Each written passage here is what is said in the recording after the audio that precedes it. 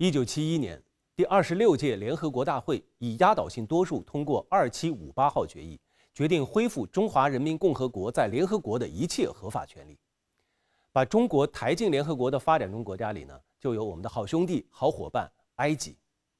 那作为第一个承认新中国的阿拉伯和非洲国家，埃及与中国素来友好。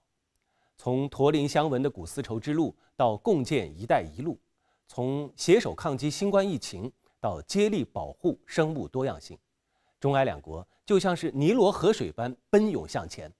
两大文明古国的关系也呈现出蓬勃生机。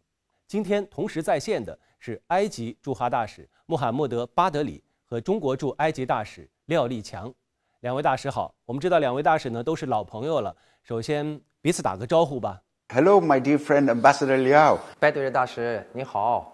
Uh, unfortunately, because of COVID, we have not had the chance to meet since October 2019. But you're always on our mind, you and all our colleagues in the Chinese embassy in Egypt.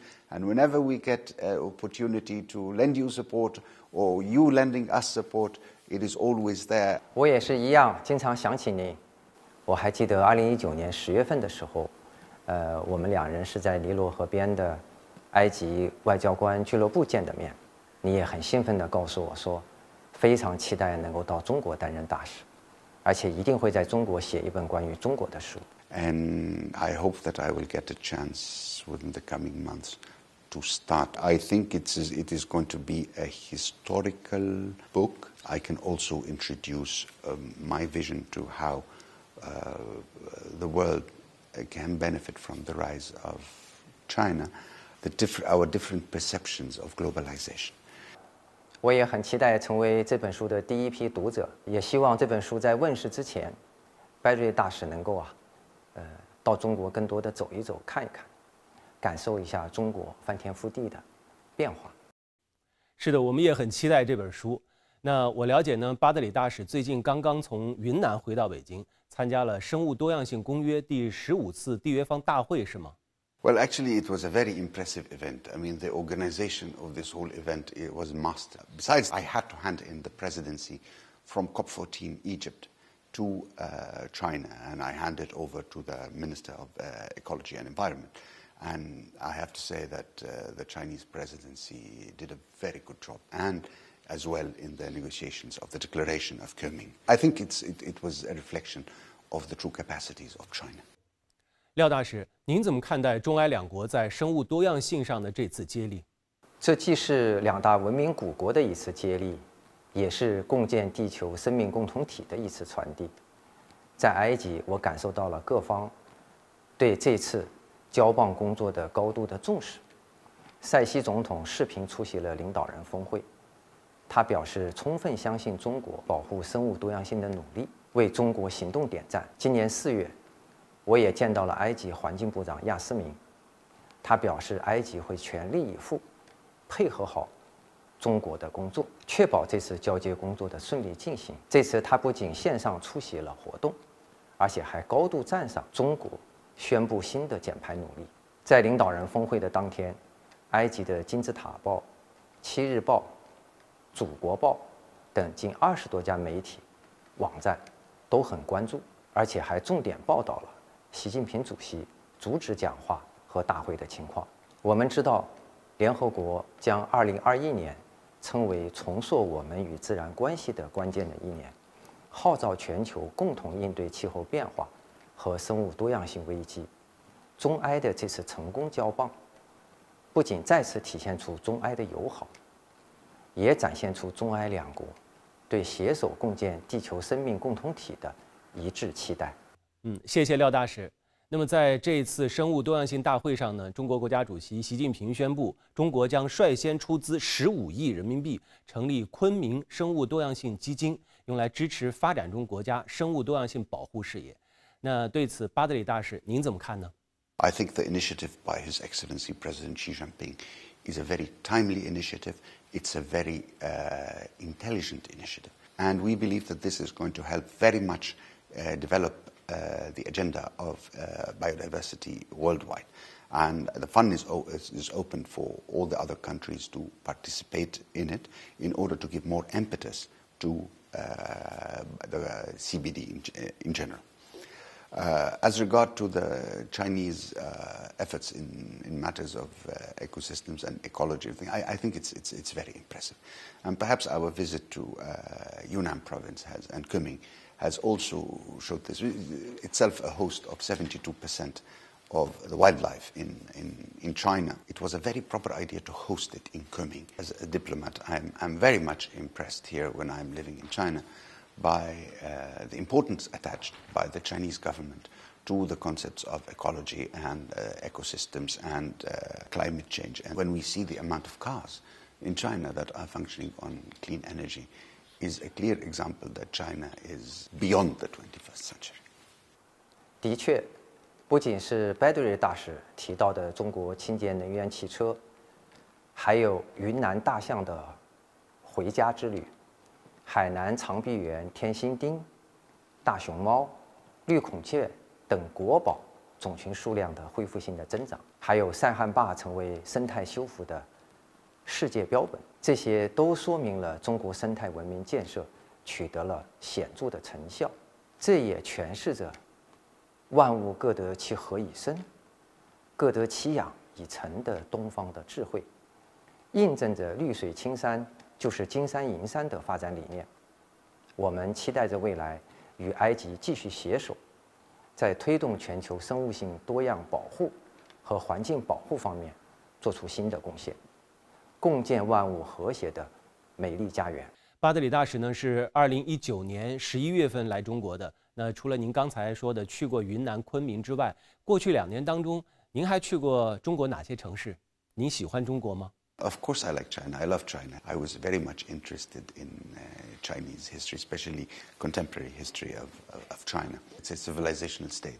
It's a civilization in and of itself. I have traveled uh, now around 13 to 13 different provinces, from Xinjiang to uh, Shanghai to Tianjin, Shanxi, Shanxi. And the more one gets a chance to travel around in China, the more one is impressed and I really enjoy my travels. 那如果说我想要去埃及的话，那大使有哪些好地方可以值得推荐呢？Egypt has everything to offer for for a tourist. Everything to offer. If you want to have visits to see antiquities, history, you can see Luxor, Aswan, Simbel, Fela, all these kind of pertaining to the Egyptian civilization. If you want everything, you make sure that you have to stay for three weeks in, at least in Egypt to cover all of this. 白对月大使说的这些地方，我去过不少。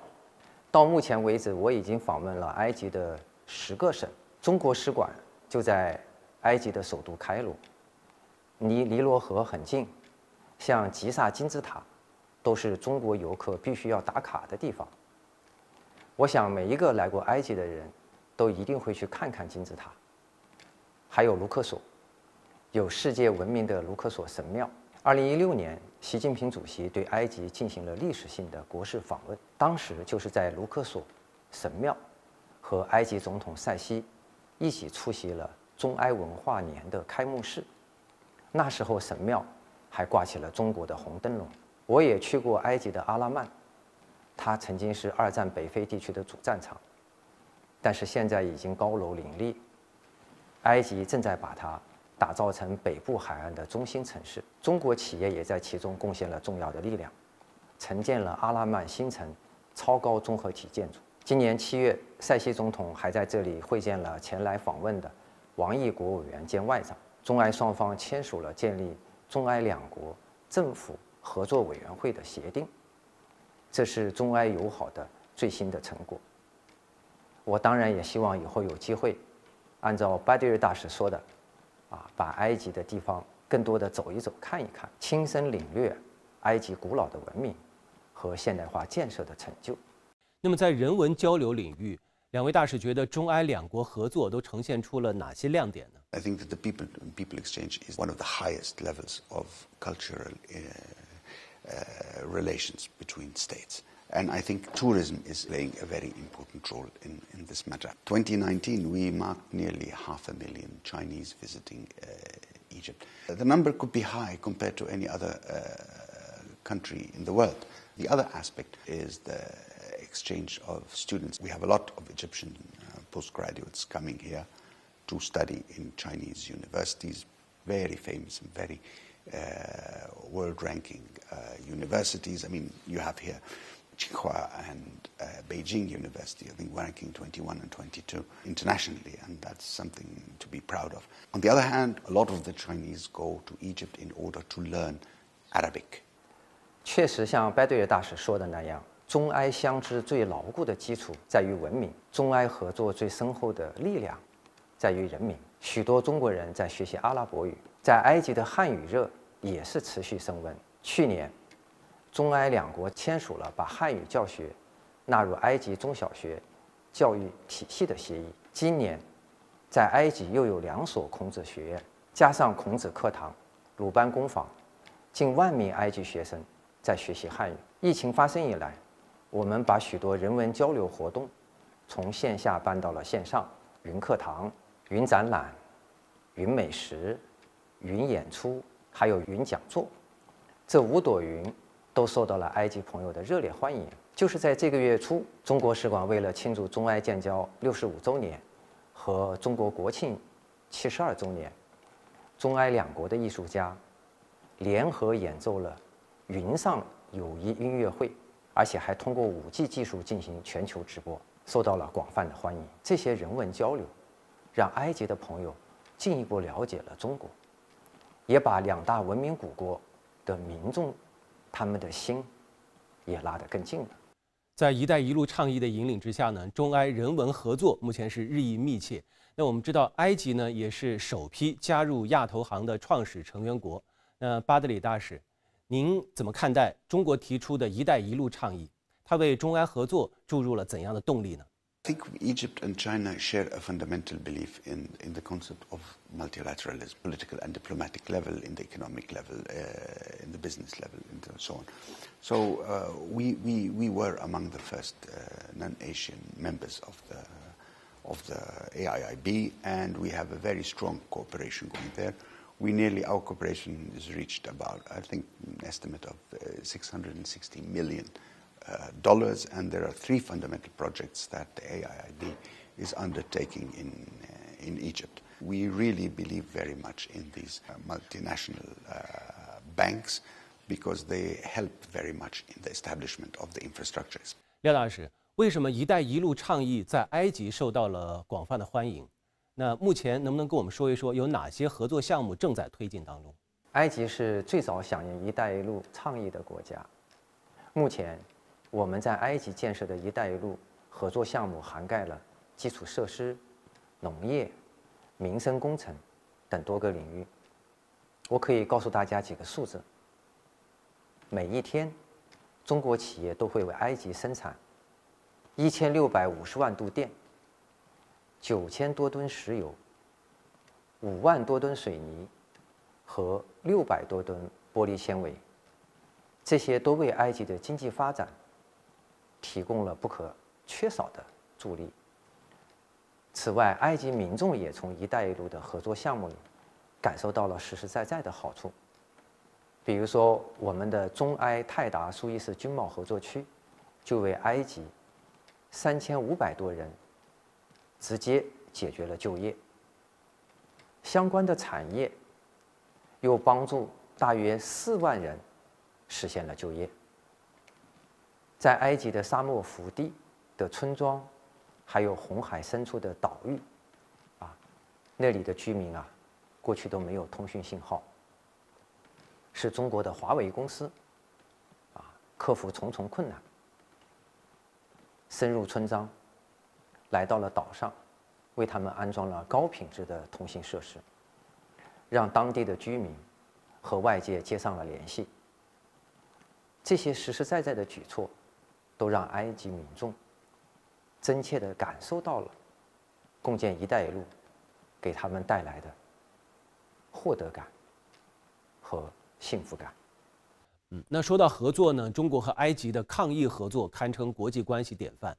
那其中有哪些故事让两位大使印象深刻呢？When China was struck by COVID-19, the Minister of Health to come here, and at the same time as she was arriving. We lit our monuments in Egypt as a show of solidarity with China When Egypt was struck by COVID 19, China helped Egypt tremendously in, in offering us medical equipment. Huge percentage of our vaccine program is coming from China. So I think it was exemplary. It reflected uh, a very strong tie between our two leaders. And I think it also reflected uh, the humanitarian aspect in the fight against COVID. 我想刚才白对月大使提到的这些，都是两国患难与共、携手抗疫的真实的写照。我记得有一位叫白欣的埃及的年轻人，在中国发生疫情以后，他自己想方设法筹集了两箱的口罩，而且把它带到了中国。在埃及的时候，他还把我们中文版的抗疫指南翻译成了阿文，而且上到了脸书上面，积极传播中国的抗疫的经验。有很多埃及老百姓都下载了这样一个阿文版的抗疫指南。如果谈到疫苗合作，中国是埃及第一个签署新冠疫苗合作意向书的国家，第一批开展国药疫苗三期实验的国家。埃及也是非洲大陆第一个啊实现中国疫苗本土化生产的国家。中埃合作建成了疫苗的联合生产线，这条生产线的产能能够达到两亿剂。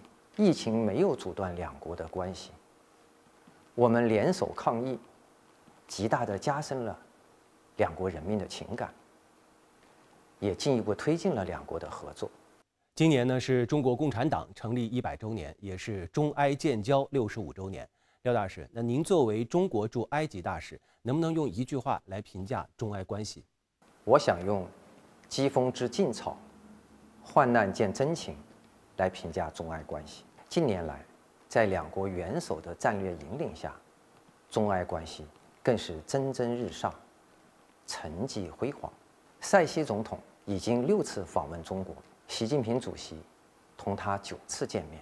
去年，两国元首在通话中就推动构建中埃命运共同体，把中埃关系打造成构建中阿和中非命运共同体先行先试的样板，达成了战略共识，为中埃关系的长远发展。指明了方向。中埃两国在坚持不干涉内政、坚持多边主义、反对将人权问题政治化、反对单边主义上的立场，我们都是高度一致的。我们也共同推动构建新型国际关系。中埃两国在解决地区热点问题上。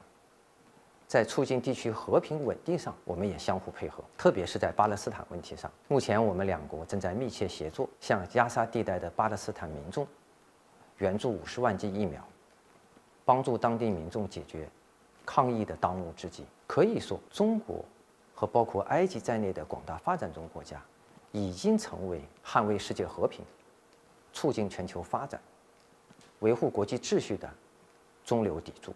嗯，今年呢也是中国恢复联合国合法席位五十周年。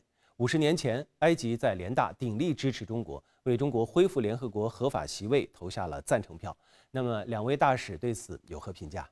Fifty years ago, uh, this was the natural place for China to take it in, in, in its position in the in the world scene. It is, uh, and, and Egypt and African countries and Arab countries supported China. In this mission. And it was a success not only to China, but it was a success to all of the developing countries in, uh, in the world. 一九七一年，埃及也在联合国大会上投出了沉甸甸的一张赞成票，而且还动员其他国家支持中国。在决议通过的时候，埃及代表团全体成员在第一时间起立鼓掌。庆祝真理和正义的胜利。我可以给大家讲个例子。我们埃及的老朋友加利先生，他在担任联合国秘书长的时候，在台湾问题上多次仗义直言。他说，台湾作为中国的一个省，根本无权进入联合国。他强调，联合国坚持只有一个中国的立场，联合国拒绝以台湾发生。任何直接和间接的接触，就在几天以前，埃及中国友协主席瓦利大使专门给我们使馆写信，祝贺中国恢复联合国合法席位五十周年。他说：“中国恢复联合国的合法席位，不仅仅是所有阿拉伯国家、非洲国家和发展中国家的胜利，也是整个国际社会的胜利。”巴德里大使，如果让您向世界来介绍中国，您会怎么介绍呢？对于未来的中埃关系，您有什么样的期待？That China is a civilizational state. It is a state based on civilization. It is the more you travel in China, the more deep you feel the roots of civilization. You can smell history in this country. You can smell the development of traditions. You can smell the power of the people and, and the state. You can see economic development. You can see a, a miracle, a, a, humanitarian, a human miracle of the Chinese government. This year declared that eradication of poverty to be the first state to eradicate extreme poverty in the world. It's been 65 years since we have established diplomatic relationship between Egypt and China. However, we have at least two millennia of contact through trade between our two countries, way beyond the 65th uh, anniversary that we have. We have reached now uh, with President Sisi and with uh, President Xi Jinping the highest level of interchange and relationship between Egypt and China. And this is just the beginning. 嗯，我们知道廖大使呢也是第四任中国驻阿盟的全权代表。那您认为阿盟在地区和国际事务当中应该发挥什么样的作用？阿盟是阿拉伯国家团结的象征，也是中阿合作的重要平台。我们双方有中阿合作论坛机制。中阿两大民族虽然相距遥远，但是亲如一家。今年三月，中国同阿盟秘书处召开了专门的视频会议。共同发表了中阿数据安全合作倡议。阿拉伯国家成为全球第一个与中国共同发表数据安全倡议的地区。今年七月，王毅国务委员会见了阿盟秘书长盖特，双方就中阿关系、地区和国际问题深入的交换了意见。中阿双方还发表了联合声明。一致同意加强中阿长期合作，特别是要筹备好首届中阿峰会，要努力打造中阿命运共同体。中国始终是阿盟值得信赖的好伙伴，我们愿意继续加强同阿盟的友好关系，继续同阿拉伯国家一道携手打造志同道合、发展繁荣的。中阿命运共同体。好，今天非常感谢，谢谢两位大使的分享，谢谢。我们知道埃及呢有一句谚语叫“比时间更久远的是金字塔”，中埃只要真诚相待，就能够让传统友谊薪火相传，让友好合作像金字塔一样坚实久远。站在新的历史起点上，中国与埃及等阿拉伯国家携手前行，共建中埃中阿命运共同体。这必将为促进全人类和平与发展做出新的更大贡献。